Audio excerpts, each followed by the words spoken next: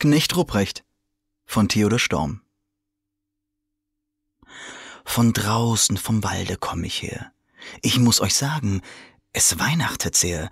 Überall auf den Tannenspitzen sah ich goldene Lichtlein blitzen und droben aus dem Himmelstor sah mit großen Augen das Christkind hervor.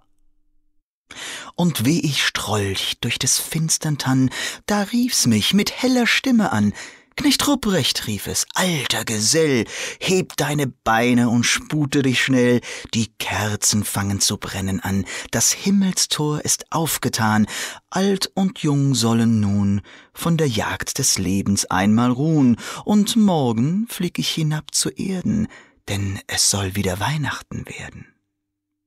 Ich sprach, O liebe Herr Christ, meine Reise fast zu Ende ist, ich soll nur noch in diese Stadt, wo's eitel gute Kinder hat.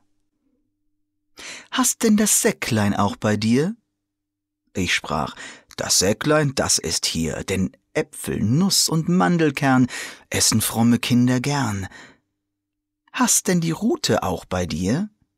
Ich sprach, die Rute, die ist hier, doch für die Kinder nur die schlechten, die trifft sie auf den Teil den rechten. Christkindlein sprach, so ist es recht. So geh mit Gott, mein treuer Knecht.